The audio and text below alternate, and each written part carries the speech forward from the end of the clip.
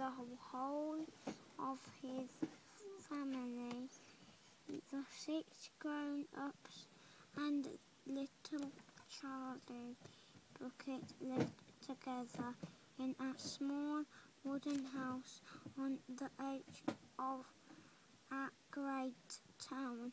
There wasn't any question of them being,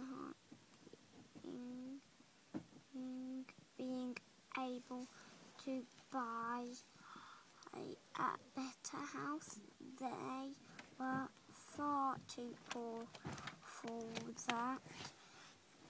The only meals they could offer were bread and margarine, Margarine. margarine for or breakfast, boiled oats, buttered, roasted, and charbroiled cabbage for lunch and cabbage soup for supper.